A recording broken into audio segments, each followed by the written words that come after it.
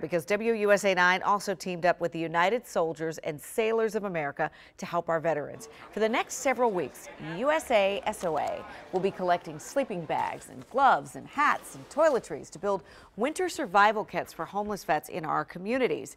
It kicked off just a few hours ago at the Valor Brew Pub in Southeast DC, and every donation will help with our vulnerable veterans. It will help to sustain them in some way. And for a list of supplies and drop-off locations, you can head to head to over to usasoa.org. You'll also find that information on WUSA9.com slash impact, and you can donate through December 3rd.